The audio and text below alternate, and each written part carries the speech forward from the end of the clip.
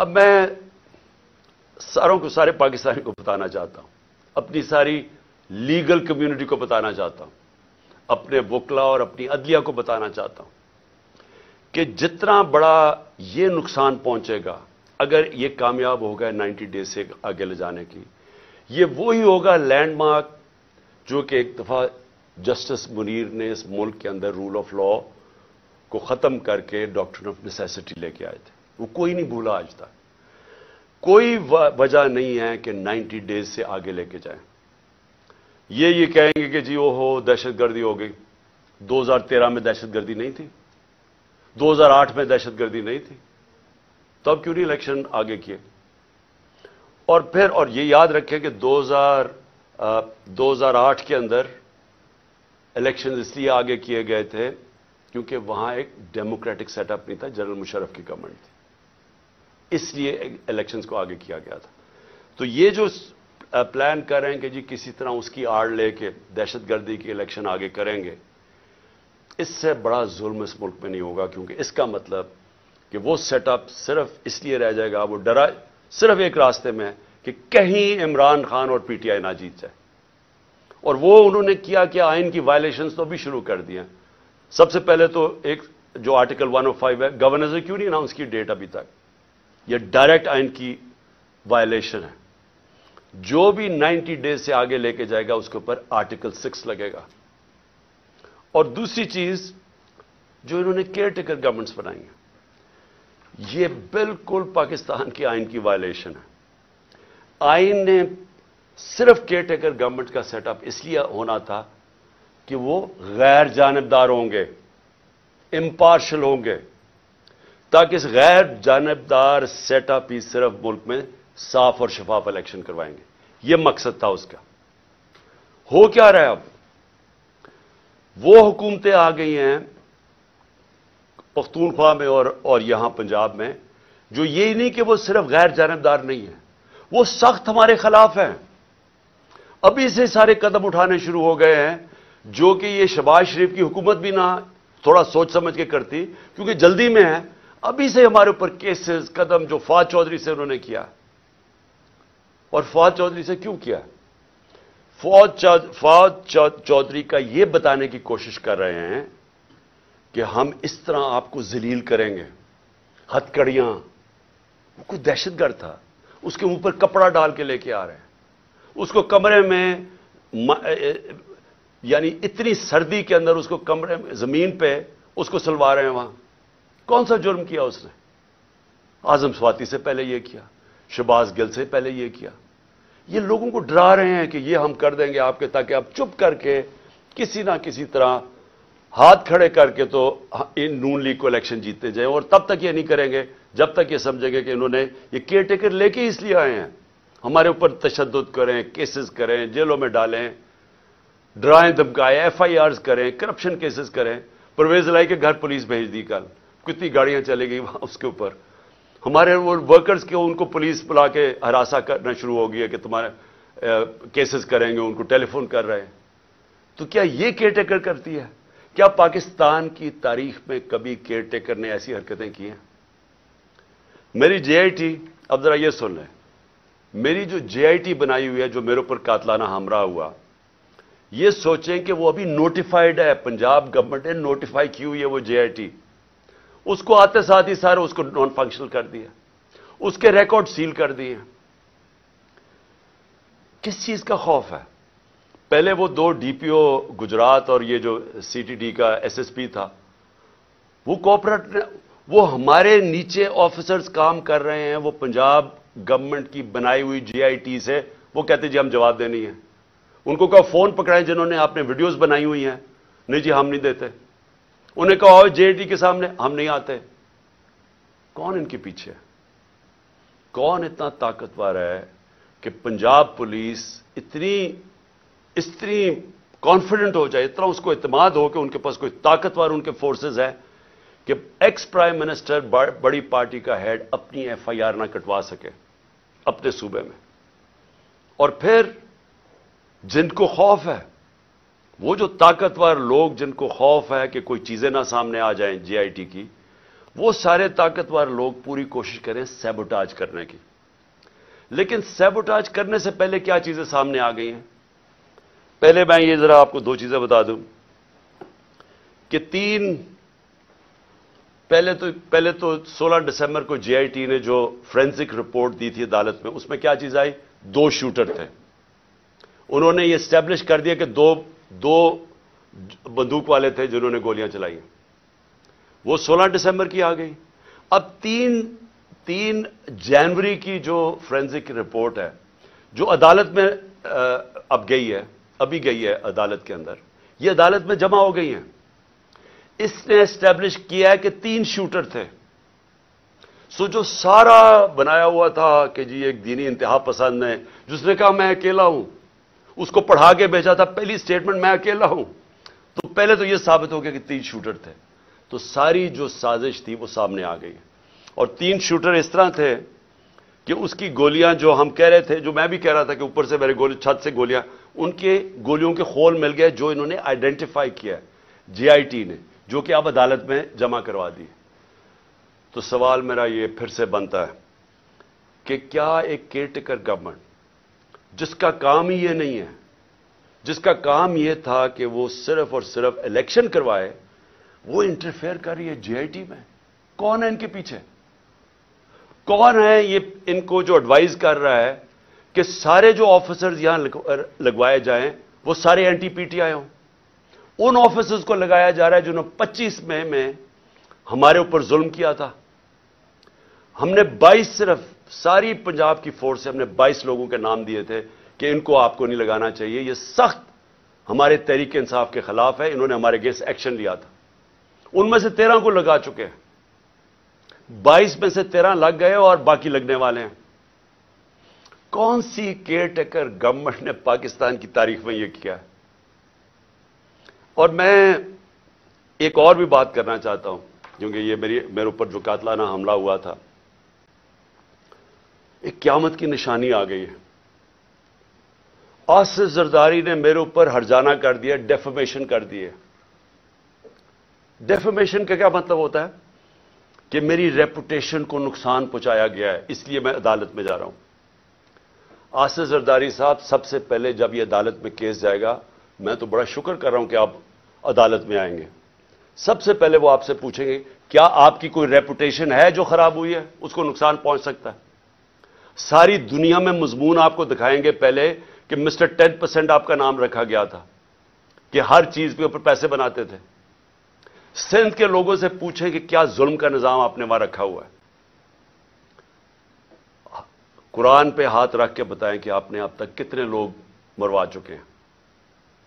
वो जज का जो नाम आपके ऊपर आता है, बताएँ ना लोगों को कि आपने क्या क्या किया अपनी माजी में।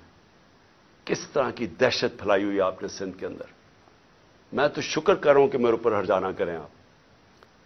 और फिर क्या ये जब मैं कह रहा था कि मेरे ऊपर हमला होने वाला ये जो जीआईटी की रिपोर्ट के सामने कि एक दीनी इंतहा पसंद के नाम पे मुझे कत्ल करेंगे तो क्या किसी ने राइटिंग में दिया था कॉन्ट्रैक्ट मुझे पता चल ही गया था ना कहीं से। तो मैं इसलिए बोल रहा था, तब और जलसों में कह रहा था कि करने वाले उससे पहले भी एक प्लान बनाया हुआ था। यह प्लान भी बना था। तो कोई मुझे राइटिंग में तो किसी ने नहीं कहा था कि आप सबूत दें जी। मुझे इंफॉर्मेशन मिली थी तो मैंने कहा था। और वो सारी इंफॉर्मेशन साबित हो रही है, ये जो जीआईटी में कवर अप करने की कोशिश हो रही है, ये ताकतवर लोग अपने आप को बचा रहे हैं। इसलिए वो खौफजदा है कि कहीं सच ना सामने आ जाए। और ये जो आसिफ जरदारी, आपने जो गेम की है, ये एक स्प्लिटर ग्रुप है दहशतगर्दों का। और मेरी इंफॉर्मेशन इतनी सॉलिड है वो इतनी सॉलिड है कि वो उसमें जो जो मुझे डिटेल्स पता है कि कौन से वो एजेंसीज के ऑफिसर्स उसके साथ, आपके साथ मिले हुए हैं, जिन्होंने प्लान किया है। पहले था एक कत्ल का प्लान प्लान है उसको मैंने जब, चार नाम मैंने टेप पे रिकॉर्ड करके मुल्क से बाहर पहुँचा दिए मुझे कुछ होगा, वो नाम आ जाएँगे। फिर प्लान बी बना, जिसमें तीन लोग मुलविस थे। उसका मैंने सीधी तरह और उसकी एफआईआर, उसकी क्यों कि एफआईआर नहीं हुई? इसी से साबित होता है कि वो तीनों मुलविस थे। क्योंकि मेरी राइट है, ये तो मेरा हक है कि एफआईआर, मैं, मेरे ऊपर कालदाना हमला हुआ, मुझे मुझे इजाज़त होनी चाहिए थी। इन्वेस्टिगेशन में अपने आप को साबित कर लेते हैं। और ये जो तीसरा है, ये जो तीसरा जो ये प्लान इन्होंने किया हुआ है, अब ये दहशतगर्दी के नाम पे होगा। कि पहले तो दीनी इंतहा पसंद ना, सलमान तसीब टाइप मर्डर अब ये होगा कि जी दहशतगर्दी मुल्क में आ गई है तो जी दहशतगर्द का खुद खुद को हमला हो गया और इमरान खान को मार दिया। मैं ये इसलिए सारी कौम के सामने लेके आ रहा हूँ कि आसर जरदारी, आपने जो अरबों रुपया इस मुल्क का चोरी करके बाहर रखा हुआ है, ये कौम आपको माफ़ नहीं करेगी। इसलिए मैंने किया है कि आप पैसा ना एंजॉय करें, बाद में ये समझें हमला करवा के करवा दें। और वो जो ऑफिसर्स भी हैं उनका भी मुझे पता है कौन मुलवस है इनके अंदर। और इसलिए मैं पहले से लोगों को आगाह कर रहा हूँ। और मैं बड़ा शुक्र कर रहा हूँ कि इस आदमी को मेरे साथ अदालत में खड़ा करो। मैं इसकी पूरी किताब होगी, इतनी बड़ी किताब होगी बताने के लिए कि इसके पास रेपुटेशन ही नहीं है डिफेंड करने के लिए। आखिर में मैं अपनी कौम को, मेरा आखिरी पैगाम ये है ये आज की तकरीर का कि देखिए, एक मुल्क फिर से ये याद रखें कि हम जिस तरह जा रहे हैं ये मुल्क हम तबाही की तरफ़ जा रहे हैं। क्यों? क्योंकि हमारा एक बहुत बड़ा जब पाकिस्तान बना था इसके पीछे एक बड़ा फलसफा था इसके पीछे कुर्बानियाँ थी इसके पीछे एक बड़ी ख्वाब थी। इस मुल्क को बनाने के लिए सारी दुनिया मुसलमान दुनिया में खुशियाँ हुई थी। मुझे एल्बेनियन का एल, एल्बेनिया का प्राइम मिनिस्टर मिला एक दफ़ा। उसने कहा कि हमने, हम कायद अजम की तकरीरें सुना करते थे। अब वो फौत हो गए। हम रेडियो पे सुना करते थे। और नेल्सन मंडेला ने कहा कि वो कायद अजम की तकरीरें सुनते थे। क्योंकि वो सारे आज़ादी की जंग में मुलवस थे। और उसने कहा कि मिठाइयाँ बांटी गई एल्बेनिया के अंदर जब पाकिस्तान बना। ये सारी मुसलमान दुनिया में एक हो पाई कि कैसा मुल्क बनेगा। उस वक्त सबसे बड़ी पाकिस्तान की आबादी थी मुसलमान मुल्कों में। बदकस्मती से नाइंसाफी की वजह से ईस्ट पाकिस्तान अलहदा हुआ। तो उस वक्त सारे लोगों ने उम्मीद लगाई हुई थी कि कैसा मुल्क आएगा जो लीड करेगा मुसलमान दुनिया को। हम किधर पहुँच गए वहाँ से? हमारे पास ये चोर ऊपर बैठ गए आके। पैसे इनके बाहर पड़े हैं। मुल्क का इनको कोई फ़िक्र ही नहीं है। रुपया नब्बे नब्बे रुपया डॉलर महँगा हो गया है इनके नौ, नौ महीने में। इनको क्या फ़ायदा हुआ? इनको क्या नुकसान हुआ? फ़ायदा ही फ़ायदा नुकसान ज़ीरो क्योंकि इनके डॉलर्स में पैसे पड़े हुए हैं बाहर। इनके तो डॉलर और उनकी वैल्यू ऊपर चली गई इन्होंने तो पैसा बाहर रखा हुआ है उनको तो फ़ायदा हो गया। नुकसान उन पाकिस्तान हमारी तरह के पाकिस्तानियों को हो रहा है जिनका जीना मर रहा है यहाँ। इनके लिए तो अजाब हो जाता है जी ईसीएल पर डाल दिया। मुझे डालें ईसीएल पे। मैं क्यों नहीं, मुझे क्यों नहीं फ़िक्र कि अच्छा जी ईसीएल पे डालेंगे तो मुझे बड़ा कोई मसला हो जाएगा। इनको क्यों मसला है? क्योंकि पैसे गिनने होते हैं प्रॉपर्टीज़ बाहर देखनी होती हैं बड़े बड़े हैरिड जैसी जगह पे शॉपिंग करनी होती है बड़े बड़े बाहर रेस्टोरेंट्स में जब इतना बड़ा पैसा आ जाए तो वो खर्च भी करना है ना, वो पाकिस्तान में तो नहीं हो सकता। अजाब ईसीएल पर डाल के, मुझे डाल दें ईसीएल पे। जिनका जीना मरना आज पाकिस्तान में है, वो सारे आज तशवीश में है, गमजदा है। सबको खौफ आ रहा है आगे किधर मुल्क जा रहा है। मैं हर पाकिस्तानी की बात कर रहा हूँ, जो समझता है कि ये हमारा, ये हमारी माँ है, हमारा मुल्क है। वो सब आज उन सबको खौफ आ रहा है कि किस, जो डायरेक्शन में पाकिस्तान जा रहा है। और मैं फिर से ये कहता हूँ कि हमें वक्त है, अभी भी, और एक एक रास्ता है बस। जो मर्ज़ी, मैं आपसे नहीं कह रहा, मैं आठ, नौ महीने से एक ही बात कह रहा हूँ कि ये जो लोग आए हैं, इससे निकलने का एक ही हल है, एक फ्री एंड फेयर इलेक्शन करवाए जाए। जल्दी से जल्दी। अवाम के मैंडेट से गवर्नमेंट आए। जब अवाम की बैकिंग से गवर्नमेंट आएगी, वो बड़े फैसले करेगी। ये चोरों की तरह नहीं। ये चोरों की तरह नहीं, जो डरते हैं फैसले करते हुए, क्योंकि उनको सुरा इनका तो मकसद ही गवर्नमेंट में और है आने का। ये मुल्क तो ठीक नहीं करने आए। उन लोगों को जिनको पब्लिक बैक करेगी पब्लिक मैंडेट से आएँगे, वो बड़े फैसले करेंगे। जब वो बड़े फैसले करेंगे, उस फैसलों से ये मुल्क निकलेगा इस बुरान से। ये सिर्फ़ इंतज़ार कर रहे हैं, मैं ख़त्म करता हूँ, क्रिकेट क्रिकेट से ख़त्म करता हूँ, क्योंकि मेरी बड़ा ज़िंदगी का हिस्सा था क्रिकेट। ये मैच ऐसा है। ये मैच खेलना चाहते हैं इनके अपने अंपायर, अपने सेलेक्टरों, अपनी पिचों, अपना थर्ड अंपायर। हो कानून ये बीच में मैच के बदलते रहे। देख रहे हैं ना, दूसरी टीम शायद जीत ना जाए, कानून भी बदलते हैं। कानून भी गेम के ये बदल रहे हैं। और जो मुखालिफ टीम है, उसके कैप्टन को ये जेल में डालना चाहते हैं। उसकी अच्छे प्लेयर्स को ये उनके ऊपर मुकदमे करके उनको बाहर रखना चाहते हैं टीम से। बाकी जो टीम है, उनको कोई पुलिस डंडे शंडे मार के किसी की टांग तोड़ दी, किसी का हाथ तोड़ दिया। ऊपर से जब ये समझेंगे ना कि अब ये टीम बिल्कुल ही अब नकारा हो गई है तो फिर वो ट्वेल्थ मैन जो बाहर लंदन में बैठा हुआ है, वो जब समझेगा ना, वो इतना डरपोक आदमी, वो सिर्फ़ तब वापस आएगा जब वो समझेगा, अब अब टीम काबिल हो गई है कि जनाब, मैं अब नेल्सन मंडेला आके अब मैं जीत? जीतूं ऐसे होना नहीं लगा। क्योंकि एक और अंपायर है, मालिक मेरे पाकिस्तानियों, बहुत दर्दनाक तकलीफ़ से सानिया हुआ है अभी पेशावर में। और दहशतगर्दी के ऊपर फिर से बातचीत शुरू हो गई। एक वक्त पे बहुत बड़ा मौजू था दहशत गर्दी और फिर आहिस्ता आहिस्ता नीचे गया और अब फिर चंद महीनों से फिर फिर से ऊपर आ गया। तो मैंने इसलिए कहा कि पहले तो मैं अपनी कौम से बात करना चाहता हूँ, लेकिन सबसे पहले दहशत गर्दी के ऊपर। और ख़ास तौर पे जो पख्तूनख्वा की पुलिस है, माजी में भी ये कुर्बानियाँ देते रहे। जब हमारी 2013 में हुकूमत आई तो तकरीबन 700 पुलिस वाले शहीद हो चुके थे। और वो मैं उसके ऊपर अभी बाद में बात करूँगा।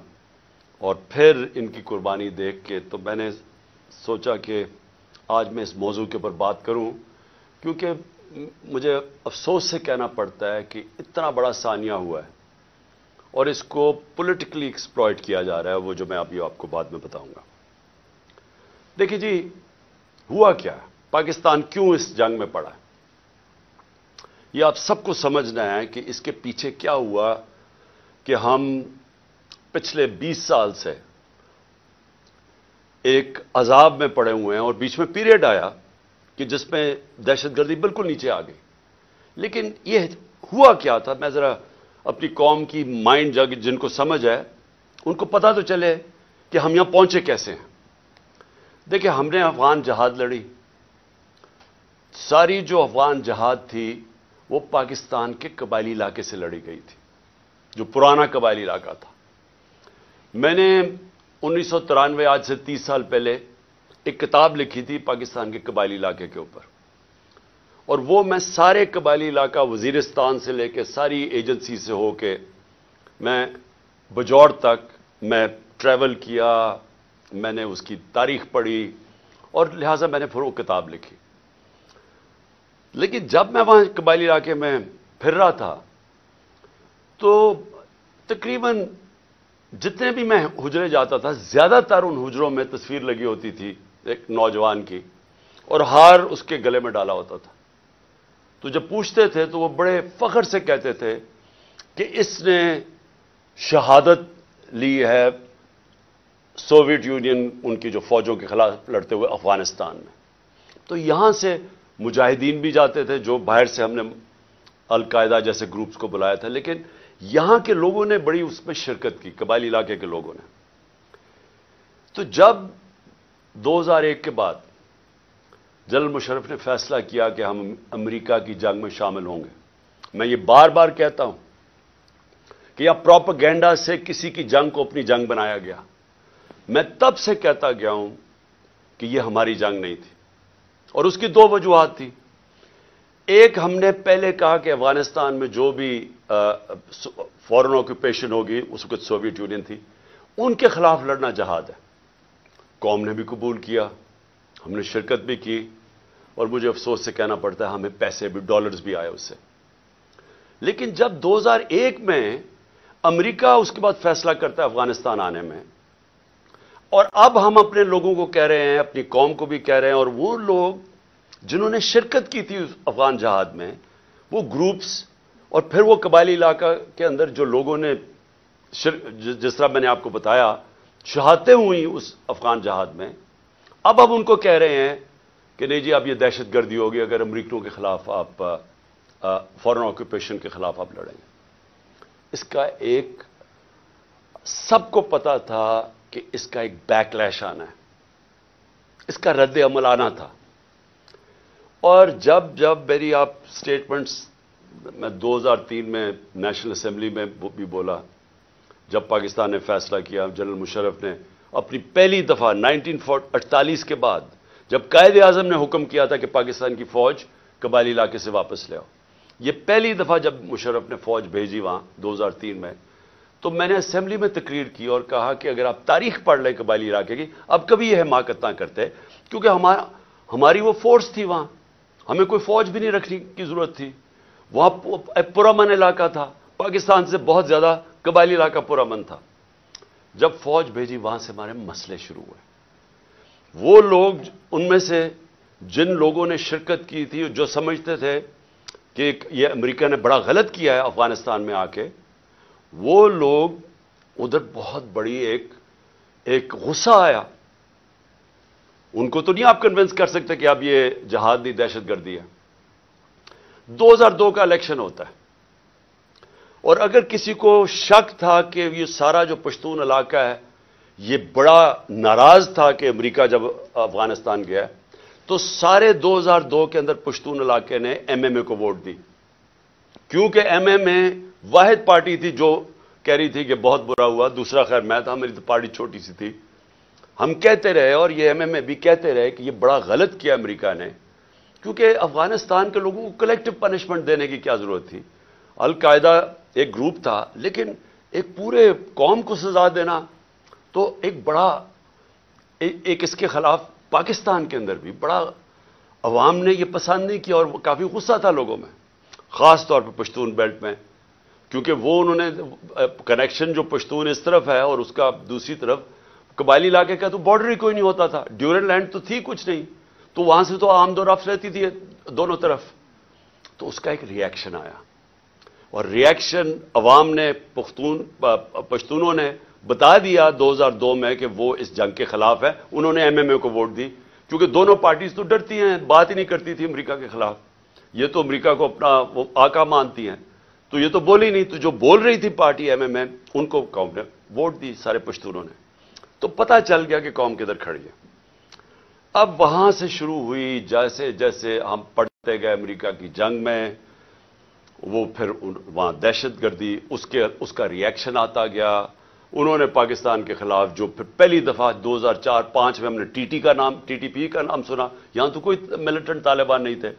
जो जंग लड़ी थी, जो उस तरफ़ मुजाहिदीन और तालिबान ने, उन्होंने लड़ी थी सोवियट्स के अगेंस्ट तो यहाँ तो कोई मिलिटेंसी नहीं थी। तो आहिस्ता आहिस्ता पाकिस्तान में ये दहशत गर्दी और मिलिटेंसी बढ़ती गई। और मुझे अफसोस से कहना पड़ता है कि मेरी तरह के लोग जब कहते थे कि ये बड़ा गलत हो रहा है, पाकिस्तान को नुकसान हो रहा है, मुझे तालिबान खान कहा गया। मैं जब वो अमरीकनों की जो अफ़गानिस्तान में वो कर रहे थे, उसको बार बार मैं कहता गया कोई मिलिट्री सोल्यूशन नहीं है। क्योंकि अफ़गानिस्तान की अगर आप तारीख आप पढ़ लें तो आपको पता चलेगा कि वो वो किसी बाहर वाले को एक्सेप्ट करते ही नहीं है।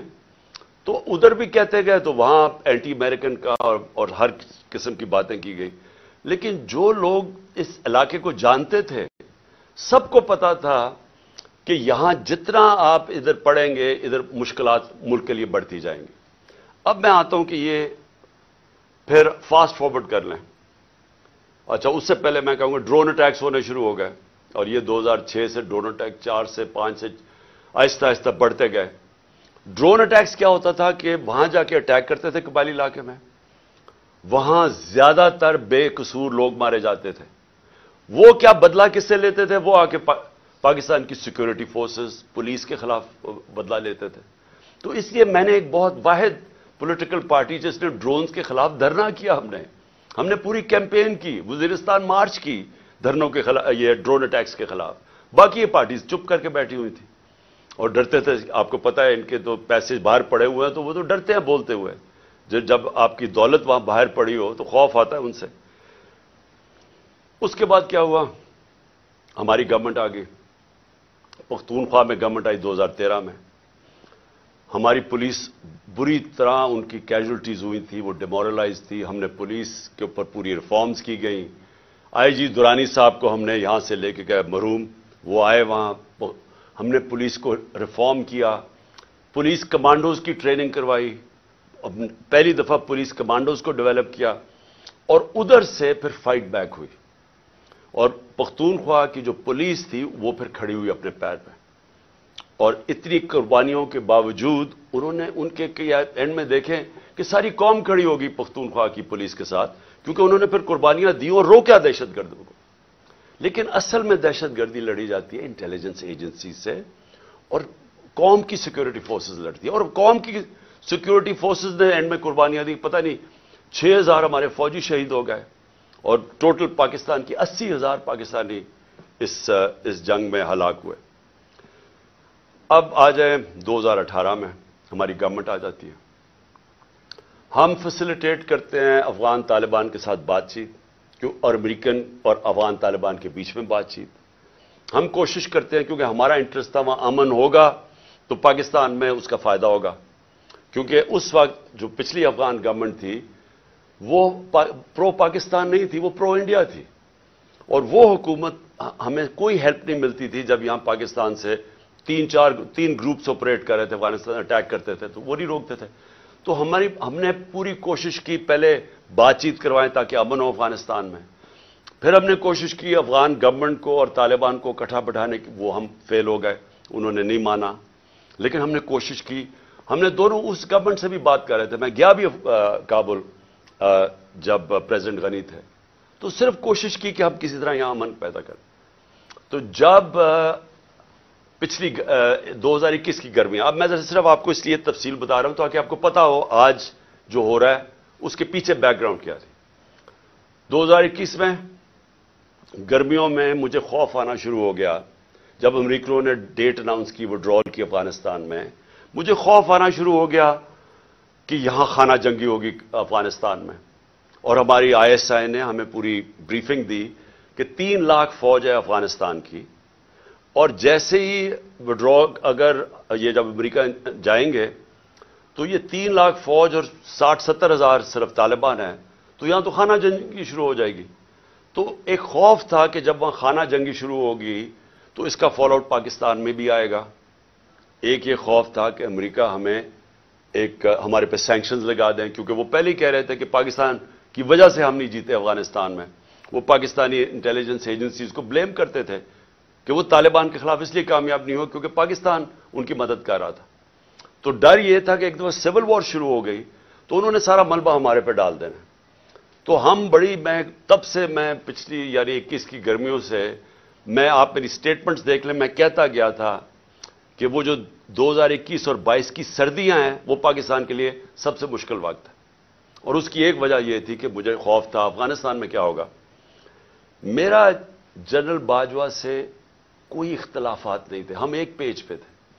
इस मुल्क ने बड़ा फ़ायदा हुआ जबकि पाकिस्तान की स्टैब्लिशमेंट और इलेक्टेड गवर्नमेंट एक पेज पे थी। अच्छे अच्छे काम हुए। कोरोना के अंदर दुनिया ने हमारा तस्लीम किया, जिस तरह हमने डील किया, लेकिन सब एक कौम ने मिलकर उससे लड़ा। उसके बाद टिड्डी भी थी, इसका एक आया, वो भी उस पर भी बड़ा हमें खौफ था। तो हर चीज़ में उस वक्त हम इकट्ठे चल रहे थे। इख्तलाफ पहला यह हुआ कि एक्सटेंशन के बाद जनरल बाजवा ने बार बार हमें कहा कि एनआरओ को, इनको एनआरओ दे दो और ये अकाउंटेबिलिटी से पीछे हट जाओ और नैब को चेंज कर दो, जो अब नैब है। यानी नैब को लॉज को अमेंड करना यह तब से शुरू हो गया था कि जैसे आप अमेंड करेंगे तो यह पॉलिटिकल स्टेबिलिटी आ जाएगी। बेसिकली इनको एनआरओ दे दो, जो हमने रिफ्यूज कर दिया। मैंने मीटिंग भी थी एक हुई थी जिसमें मेरे सीनियर मिनिस्टर्स बैठे थे जनरल बाजवा ने ये तजवीज़ दी हमने काम नहीं करते। क्योंकि मैं तो कौम मैं तो आया ही पॉलिटिक्स में 26 साल पहले था रूल ऑफ़ लॉ के लिए और इंसाफ और अगर इंसाफ नहीं होता तो करप्शन होती है। दू, तो दूसरा इख्तलाफ किधर हुआ? दूसरा इख्तलाफ उनसे हुआ जनरल फैज के ऊपर। अब मैं आज सारी कौम के सामने रखना चाहता हूँ जो हकायक क्या थे।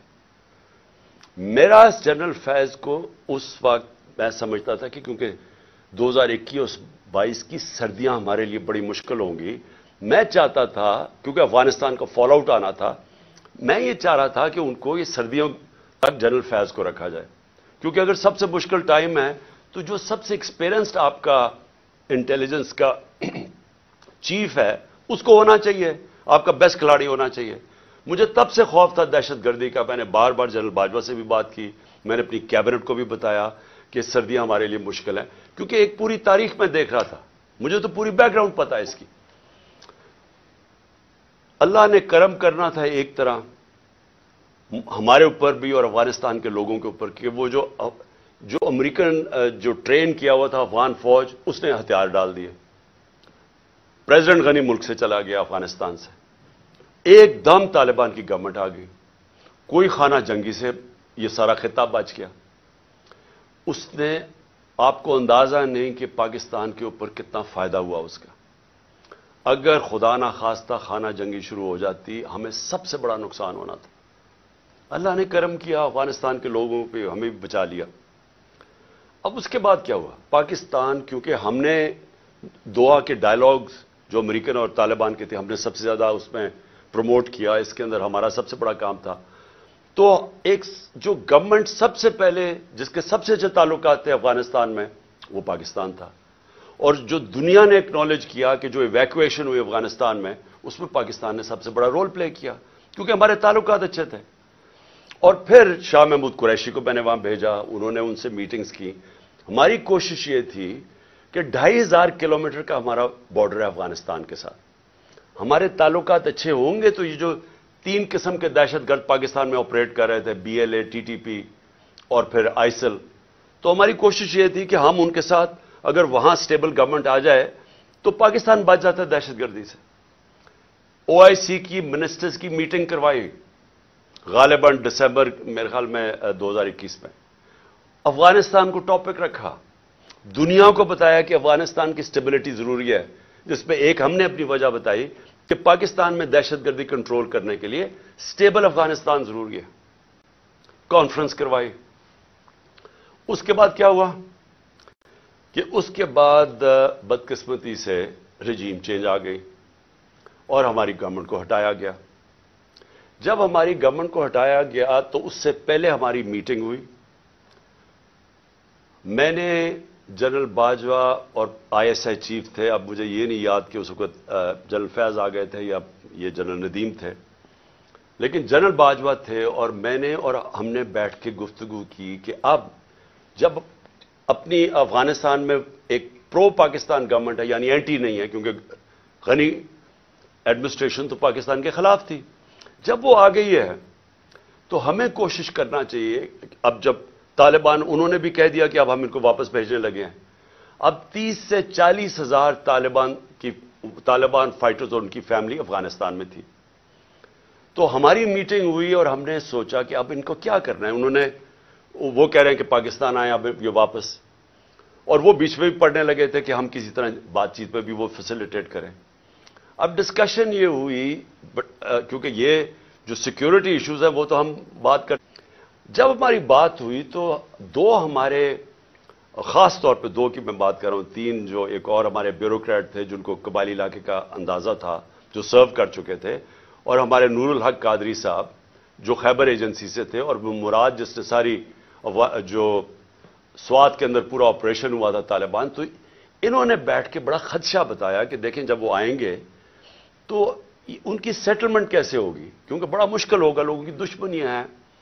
कत्ल किए हुए हैं आपस में और इन्होंने, तालिबान ने तो वो बड़ी तशवीश थी। तो ये फैसला किया गया कि हमारे जो कबायली इलाके के एम एन एज और वो बैठ के हमारी सिक्योरिटी फोर्सेस फैसला करेंगी कि इनको रिहेबिलिटेट कैसे करना है। ये भी सोचा कि इनके लिए पैसे खर्च करेंगे, क्योंकि दो ही, है ना, या हम उनको मार दें, सारों को खड़ा करके, और या फिर उनको सेटल करें और उनसे कोई एग्रीमेंट करें। ये तो इसके अलावा तो तीसरा कुछ नहीं था। तो हमने उनसे ये ये बात हुई और वो बदकिस्मती से बात आगे बढ़ी नहीं, क्योंकि और चीज़ें आ गई। और आप सब जानते हैं रजीम चेंज के अंदर और चीज़ें आ गई। उसके बाद हमारी गवर्नमेंट चली गई। 2022 की जून के अंदर, मलाकंड के अंदर, मसला आ गया स्वाद के अंदर। एकदम तालिबान की वहाँ कोई आया और वो अवाम खड़ी हो गई, उनको बड़ा कि फिर से वही हाल होने लगा जो कि पहले था जिधर स्वाद के लोगों ने बड़ी मुश्किल वक्त गुजारा। तो तब तशवीश हुई और मैंने जून के अंदर फिर मीटिंग की अपने पख्तूनख्वा के एम एन एज और एम पीज के साथ। केपी हाउस के अंदर इस्लामाबाद में मीटिंग की और उनको सब खदशा था कि ये एक नया फिनोमेना फिर आ रहा है। ये जो ये जो तालिबान आ रहे हैं, वहाँ स्वाद के अंदर जो हो रहा है और फिर लेटर्स लोगों को आने शुरू हो गया कि पैसे के और फिर हमारा एक एमपी था। उसको गोलियाँ लगी वहाँ दीर के अंदर। तो सबसे मीटिंग हुई और उनको खौफ था कि ये हो क्या रहा है। और फिर हमने, क्योंकि हमारी गवर्नमेंट थी केपी में, हमने उन्हें कहा कि आप बात करें वहाँ के कोर कमांडर से और कोई एग्रीमेंट करें कि ये क्या हो रहा है, ये फिनोमेना क्या है। क्योंकि समझ नहीं आ रही थी। लेकिन इस गवर्नमेंट ने कोई इनको समझ नहीं थी करना क्या ना ही इनकी कोई तवज्जो थी वहाँ।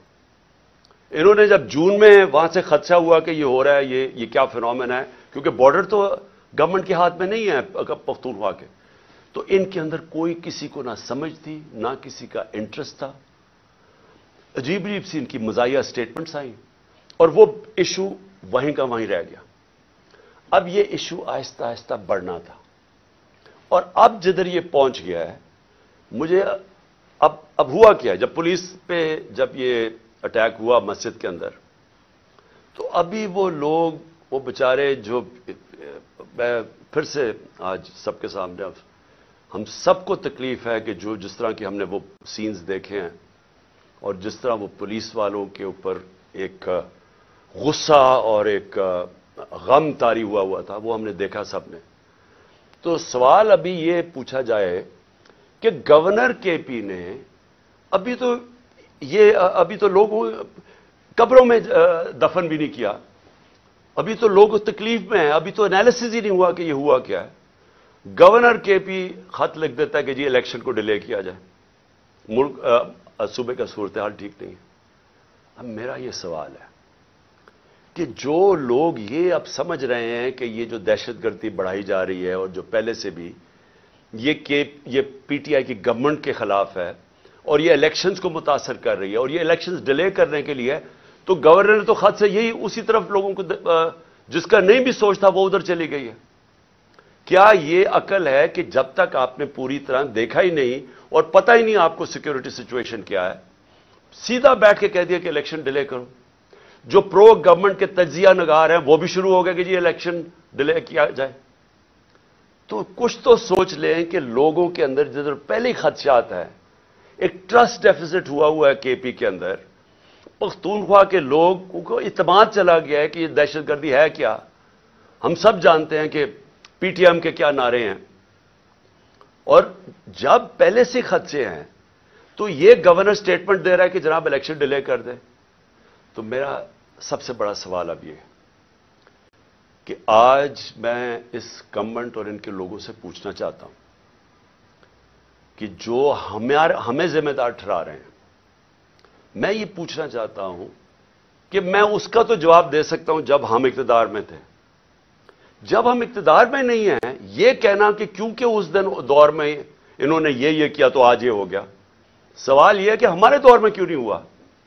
2013 से हमारी गवर्नमेंट थी पख्तूनख्वा, जो सबसे बड़ा सूबा जो तबाही में थी। 2013 से 18 तक, जरा दहशतगर्दी देख लें। कि पख्तूनख्वा में कितनी हुई, हमारे दौर में। और 2018 से अब तक हमारी जब गवर्नमेंट थी, मुझे यह बता दें कितनी दहशतगर्दी थी। तो आज आप ये, हमें यह कहा जा रहा है कि जनाब, वो क्योंकि उन्होंने पता नहीं किया, क्योंकि आज दहशतगर्दी बढ़ गई। ये बिल्कुल इसलिए है, इसी तरह है, जिसके ऊपर अभी मैं इसके बाद आऊँगा, कि जनाब, इन्होंने इन्होंने पता नहीं आज जो माशी बुरहान आ गया और जो तबाही मिच गई है पाकिस्तान में जो लोगों की उम्मीद ही मुल्क से चली गई है, जो माशी हालात हैं तो वो कह रहे हैं कि जी वो हमारी वजह से हुआ है। हम उसके जिम्मेदार हैं जो हमारे दौर में हुआ है। जब हम हम पावर में नहीं है, हम, हमारे से क्यों जवाब पूछ रहे हैं? मैं आज फिर से, मैं बार बार कहता रहूँगा, मुझे इनका पता था कि ये नाहल और करप्ट लोग, इन्होंने तो तीस साल हुकूमत की और मुल्क को यहाँ पहुँचाया है। और अब यह कहना कि ये जो, जो जनरल बाजवा की सोच थी कि अब आके ये मुल्क ठीक कर देंगे जो 17 साल में सबसे बेहतर पाकिस्तान की इकोनॉमिक परफॉर्मेंस थी उस उस इकोनॉमिक परफॉर्मेंस के ऊपर रिजीम चेंज करके इनको ले आए। मैं बार बार जनरल बाजवा को कहता रहा और मैंने वाज तौर पे शौकत तरीन को भिजवाया। मैं इसलिए आपको कहूँगा कि हमें पता था ये क्या होना है। हम मैं इनको जानता हूँ तीस साल से जो इन्होंने किया पाकिस्तान के साथ। ये जो कर्जे चढ़े हुए हैं आए, जब से ये आए हैं, सरस, देखें इन्होंने, ये अमीर होते जाते हैं, मुल्क मकरूज होता जाता है। तो इन्होंने मुल्क कैसे ठीक करना था? जो मुल्क को तबाही की तरफ़ लेके जाए, वो मुल्क ठीक कैसे कर सकता है? इनके ये जो नून लीग की निन्यानवे, ये गवर्नमेंट छोड़ के गए हैं, जरा देख लें कि क्या हाल था पाकिस्तान की मायशत का। और अब ये जो 2018 में छोड़ के गए, तब देख लें क्या हाल था। तो अब इनको जब हमें हटा के इनको लेके आए, इन्होंने अब ठीक कर देना था मुल्क। चलती हुई माशत, जो 17 साल में उसकी ग्रोथ रेट यानी जो इकोनॉमी में दौलत में इजाफा हो रहा था, पाँच इशारिया सात और छह फ़ीसद, दो आखिरी दो सालों में कोरोना के बावजूद। कोरोना का भी मैं बार बार आपको इसलिए याद करवाऊँगा, ये दुनिया के अंदर इतना बड़ा सानिया सदी में एक दफ़ा आता है। और देखेंगे पाकिस्तान कैसे निकला उसमें से। और फिर अपने लोगों को, माशत को, सबको बचा लिया, गरीबों को बचा लिया। और हम जब वहाँ से, जब इसको बताया, जनरल बाजवा को कि ये ना कामयाब होने दें, और इसलिए कामयाब ना होने दें, क्योंकि ये नहीं संभाल सकेंगे। और वो ही हुआ। जैसे ही आए, मुल्क नीचे जाना शुरू हो गया। मुझे बताए, कौन सी, कौन सा इतना बड़ा अजाब आया था? क्या चेंज आया कि दहशतगर्दी भी पानों में चली गई, और ये मैशत भी ज़मीन पर चली गई? कौन सा चेंज आया था? को, यानी कोई मुझे समझाए कि हमारा तो मसला बना हुआ था, तेल पहुँच गया था 110 से 115 डॉलर बैरल। अब वो आ गया, अब, अभी ऊपर ही भी है तो पचासी डॉलर का है। तो जब असल तो महँगाई तेल की वजह से आती है जो आप इंपोर्ट करते हैं तो हम, हमने तो जो एनर्जी की कीमतें वो भी ऊपर गई। कमोडिटी सुपर साइकिल जिसको कहते हैं, उसको भी गुजारा। ढाई साल हम आईएमएफ के नीचे थे। आईएमएफ के प्रोग्राम से भी गुजरे। उसके बावजूद अगर हम ये पाकिस्तान की दौलत में इजाफा कर सकते हैं इंडस्ट्री भी ग्रो कर रही थी, किसान भी खुश था सर्विसेज़ भी ऊपर जा रही थी फ्यूचर टेक्नोलॉजी उसमें ग्रोथ आ गई थी। हमारे टैक्स कलेक्शन बढ़ गए थे, हमारे record tax collection overseas Pakistani को इतमाद था हमारे पे, वो रिमिटेंसेज रिकॉर्ड भेज रहे थे इकतीस अरब डॉलर की। तो ये आते साथ ही आज नीचे कैसे पहुँच गए? ये होना ही था। और मैं आपको सिर्फ़ ये बताना चाहता हूँ कि आज हम किधर जा रहे हैं। मेरे से वो पूछ, चीज़ें पूछे जब मैं इकतदार में था। अगर ये ना हटाते फिर हम जिम्मेदार थे। अगर ये ना साजिश करके ये जो शबाज शरीफ बोलता फिरता है क्यों आपने साजिश की थी कि अगर आपको इतना खौफ था हमारी तैयारी नहीं थी मुल्क के हालात बहुत बुरे थे हमें रहने देते। एक साल सवा साल डेढ़ साल रह गया था। हम हम जिम्मेदार थे फिर। हम उसके जिम्मेदार कैसे हो जो आप आके मुल्क का बेड़ागार करके रख दिया है। हर तरह मुल्क नीचे ले गए तो मुझे ये जरा ये समझाए कि नब्बे रुपए रुपया गिरा डॉलर के मुकाबले में। नब्बे रुपए। क्या इसके हम जिम्मेदार हैं? यानी क्या आप मुझे सिर्फ़ यह समझा दें कि ये जस्टिफाई कैसे करते हैं कि नब्बे रुपए डॉलर के मुकाबले में कम हो गया? नब्बे रुपए पाकिस्तान की दौलत लोगों के पैसे के अंदर कमी आ गई है। यानी जब आप डॉलर ऊपर जाता है तो आपके रुपए की जब कीमत नीचे जाती है तो आपकी खरीदार की कीमत नीचे चली जाती है। उससे जो चीज़ आप बाहर से इंपोर्ट करते हैं, वो सब महँगी हो जाती हैं। और इसका जब असर आएगा, जब नब्बे रुपए आप आप गिराते हैं, आप गिरता है आपकी नाहली की वजह से, इसका अब असर किधर आ रहा है? हर शोबे पे इसका असर आ रहा है। सबसे पहले महँगाई। आज लोगों का सबसे बड़ा मसला महँगाई बन चुका है। लोग, तनख्वाहदार लोग आज सोचते हैं कि उनकी तनख्वाह में कैसे गुजारा होगा। और अभी पूरी महँगाई आई नहीं है। अभी तो असर ये जो आखिरी पैंतीस रुपए गिरे हैं, अभी इसका असर नहीं आया। अभी तो जो पेट्रोल और तेल की कीमतें बढ़ी हैं, जो इन्होंने पेट्रोल और डीजल बढ़ाया है, पैंतीस रुपए लीटर, अभी ये और बढ़ना है। क्योंकि जो रुपया गिरा है, इसका अभी आपको असर आएगा, क्योंकि जो जो जो बाहर से चीज़ें महँगी होंगी। और ये कैसे मुझे बता सकते हैं कि 16 अरब डॉलर के रिज़र्व छोड़ के गए थे, आज तीन अरब डॉलर के तकरीबन रह गए। तो क्या इसकी नौ, यानी नौ महीने में यह हुआ है? तो फिर से मैं कहता हूँ, कौन सी क्यामत आई थी कि मुल्क को यहाँ पहुँचा दिया? और मैं आवाम को बताना चाहता हूँ कि अभी जरा, अभी जो अभी जो महँगाई है, हमारे दौर में जो कि अवाम को लोगों को इफ़ेक्ट करती है, उसे कहते हैं सेंसिटिव प्राइस इंडेक्स, खाने पीने की चीज़ें।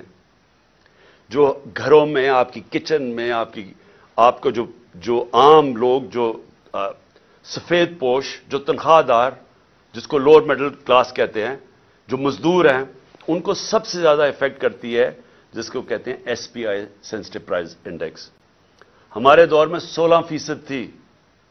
आज वो पहुँच गई है तकरीबन 40 फ़ीसद। और यह रुकने नहीं लगी, क्योंकि अभी इसका पूरा असर आया नहीं है, जो रुपया हमारा इतनी तेज़ी से गिरा है। इसका मतलब चीज़ें जब और महँगी होती जाएँगी, ये लोगों के लिए और महँगाई बढ़ती जाएगी। उसके बाद ये सिर्फ़ ये ये तेल और डीजल नहीं बढ़ा, और इसका भी असर आएगा। गैस बढ़ने वाली है, बिजली बढ़ने वाली है, बिजली ये दुगनी कर चुके हैं। हमारे जाने के बाद दुगनी, उससे ज़्यादा बढ़ने वाली है। और जो हमारे कर्जे हैं, नौ महीने में हमारे कर्जे कितने बड़े हैं? दस हज़ार अरब रुपया। दस ट्रिलियन रुपए हमारे कर्जे बढ़ चुके हैं जब से ये आए। और इन्होंने क्या किया? एक कारनामा किया। अपने सारे करप्शन के केसेस खत्म कर दिए। अवाम का इन्होंने जो हाल किया, वो आप सबके सामने है। अवाम को धकेल दिया उधर, जिधर आठ लाख हमारे प्रोफेशनल्स मुल्क छोड़ के चले गए हैं। उम्मीद खो बैठे हैं। अवाम इधर पिसी हुई है और इन्होंने 1100 अरब रुपए के अपने करप्शन केस खत्म किए। इनको ना फ़िक्र थी, दहशतगर्दी की, ना इन्होंने उसके ऊपर टाइम लगाया। माशत की इनको समझ नहीं थी और ये जो इनकी नाहली थी, वो सामने आ गई है। और अपना सिर्फ़ ज़रूर कामयाबी से जिस काम के लिए आए थे, अपने सारे करप्शन के केस खत्म कर दिए। जिसको हम एनआरओ टू कहते हैं। जो मुल्क से एक गद्दारी की थी जनरल मुशर्रफ ने, जब इनकी चोरों की बड़ी चोरी माफ़ की थी। 2008 में और एक ये दूसरी जनरल बाजवा ने ये जो इनको एनआरओ टू दिया है, ये सबसे बड़ी गद्दारी है कि आज दरवाजे खोल दिए हैं, बड़ी चोरी के व्हाइट कॉलर क्राइम के दरवाजे खोल दिए हैं, क्योंकि नैब तो इन्होंने खत्म कर दिए एफ़ आई ए खत्म कर दिया उनका सिर्फ़ काम है सियासी इंतकाम लेना। और मैं जो तीसरी आज चीज़ बात करना चाहता हूँ, तीन चीज़ों पर मैंने आज बात करनी थी। पहले दहशतगर्दी पर कि वो हमें जिम्मेदार ठहरा रहे हैं। और दूसरा ये माशत पे वो नीचे गए वो हमें जिम्मेदार ठहरा रहे हैं। नहीं इतनी साजिश करनी थी। अगर नई कैपेबिलिटी थी तो ना करते। तो आज आके आप अपने कर, अपनी चोरी माफ़ करवा लें लेकिन जो सारा मुल्क तबाही किया वो हमारे पे डाल दें। जो तीसरी चीज़ है वो इसी वजह से वो है इलेक्शंस अब मैं ये बताऊँ कि हमारी पंजाब और पख्तूनख्वा में हुकूमतें थी। छियासठ फ़ीसद पाकिस्तान हमारे नीचे था। हमने पहली दफ़ा इस मुल्क की तारीख में अपनी दो गवर्नमेंट्स को डिसॉल्व किया, अपनी गवर्नमेंट्स छोड़ी। हमने क्यों छोड़ी? अब हमें कोई ज़रूरत नहीं थी, किसी ने बंदूक नहीं रखी थी हमारी गवर्नमेंट कराने के लिए। हमने इसलिए छोड़ी क्योंकि हम सबको खौफ आ रहा है पाकिस्तान का।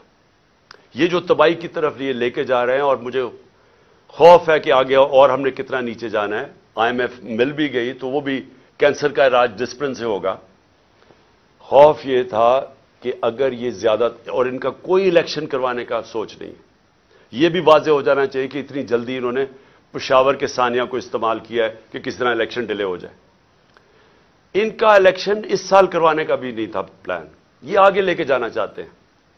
और इनकी पूरी कोशिश ये है कि किसी ना किसी तरह ये तब इलेक्शन करवाएँ जब ये समझे कि तहरीक इंसाफ खत्म हो चुकी है। ये इनका प्लान है।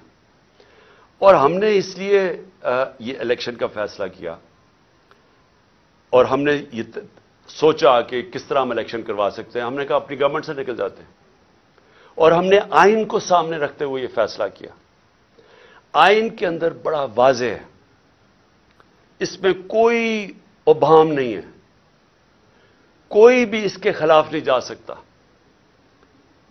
आर्टिकल 105 आइन का वाज तौर पे कहता है कि जब असेंबलीज डिजॉल्व होंगी तो 90 दिन और उससे कम में इलेक्शन होगा।